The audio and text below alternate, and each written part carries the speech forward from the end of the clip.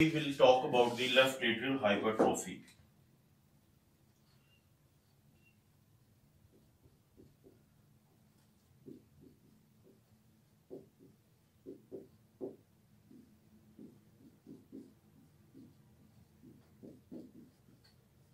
Left atrial hypertrophy.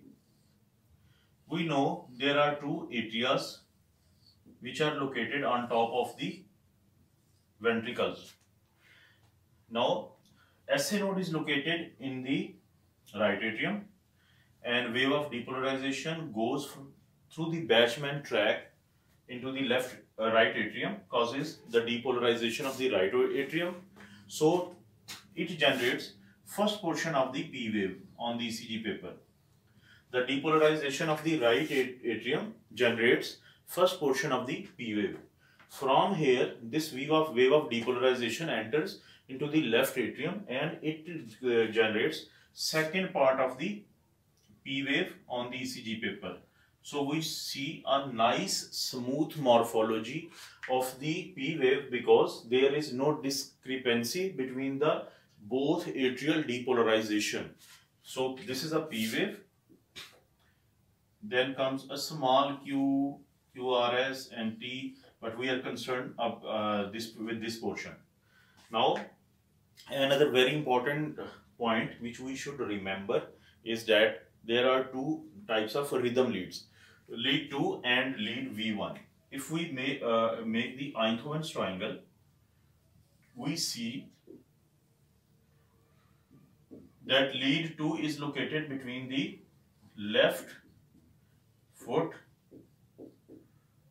and right arm left foot and right arm. This lead 2 is a bipolar limb lead which is located uh, in close proximity to the SA node and the both the atria. So any change in the depolarization or any change in the uh, uh, muscle mass of the atria will be picked up by this lead very promptly. So we call it the rhythm lead. Out of the six limb lead, lead 2 is the rhythm lead. Now we also call the chest lead V1 rhythm lead. Why? Again, because of its anatomical location. If we see, this is sternum behind which heart is located. This is angle of Louis or manubrium sterni. In front of it are just, just uh, along this manubrium sterni is the second intercostal space. Then comes the third and then comes the fourth intercostal space. In this fourth intercostal space, we place V1, first chest lead 1 because behind the sternum is located heart. So these are two atria and these, these, these are, this is ventricle. So again V1 is located very close to the both atria and SA node. So lead 2 and lead V1, they are considered rhythm lead because rhythm is generated by the SA node and it uh, uh, it's uh, located very close to lead 2 and V1 so they can better pick up the rhythm uh, as compared to the other leads and, uh, and these two leads are also in close proximity to uh, both the atria. Okay, let's move on. If I make a normal lead 2, it goes like this P QRST. It's a smooth morphology, a very smooth contour of the P wave normally. And in lead V1, if I make it, the first upward portion is made by the right atrial depolarization. And the second portion which is lower, the lower than the isoelectric line is made by the left atrial depolarization. Then comes the small T uh, R wave and then this rest of the QRS complex. So this is normal V1.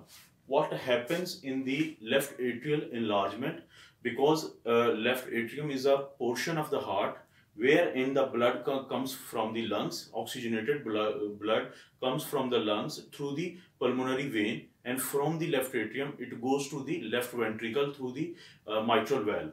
In cases of the mitral valve stenosis, left atrium has to work against a resistance so it becomes hypertrophied. So the most important cause of the left atrial hypertrophy is mitral valve stenosis but it can be mitral valve regurgitation it can be left uh, ventricular hypertrophy because of the aortic stenosis or systemic hypertension. But the most important reason is uh, uh mitral valve uh, stenosis so what happens in those cases that if you see it this is left right atrium this is left atrium and this is ventricle. Now in cases of the mitral valve stenosis left atrium becomes enlarged. Now the second part of the P wave actually it becomes heightened as compared to the first portion because of the left atrial enlargement now. It it becomes higher in height. So this is called a notched p wave. Uh, uh, you can see the uh, hump of the camel. It uh, which has got two notches. Now this is not a smooth contour as it was before but now it has two notches. And this morphology now becomes like this. First part because of the right atrial depolarization then second hump because of the left atrial enlargement so this is known as double notched p wave this is known as double notched p wave and this second notch is because of the left atrial hypertrophy we call it p mitral why we call it P mitral? Because as I already mentioned, the most important cause of the left atrial hypertrophy is mitral valve stenosis. From, from there it actually draws its name of P mitral. What is P mitral? P mitral is double notched P wave. If you look at rhythm lead 2, but in case of the rhythm lead V1, the second portion of the lead V1 which was shallower initially now it deepens uh, uh, in an on the negative side for example it would go more and more downward. If I make a V1 P wave of the left atrial hypertrophy it would be something like this. This is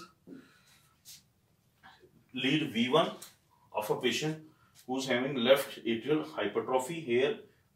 The downward deflection of the P wave in the lead V1 which is because of the left atrium has become deeper and deeper because of the left atrial enlargement. So this is P mitral. This is P mitral double notched P wave. So if you look at an ECG, you should look in lead 2 and lead V1 for the presence of a notched P wave that would give you the diagnosis of left atrial hypertrophy. Then you should do the echocardiogram to actually know the diameters of the left atrium. And then, and also the valvular problem because uh, any patient who's got uh, left atrial hypertrophy is very prone to develop arrhythmia. So it is always very important to diagnose it before a patient develops arrhythmia and later on patient can have its complication most importantly patient can have ischemic cerebrovascular accident because of the thromboembolic phenomena so it's always important that you diagnose left atrial hypertrophy on the ECG confirm it using the echocardiogram. Try to find out the cause of the left atrial hypertrophy. Try then try to actually manage it well within the time. Because once it's out of control once for example left atrial hypertrophy goes undiagnosed patient develops uh, ischemic cerebrovascular accident and is bedridden for the rest of his life so it's always better to diagnose it at an appropriately earlier time. So i hope it gives some uh, idea of the left atrial hypertrophy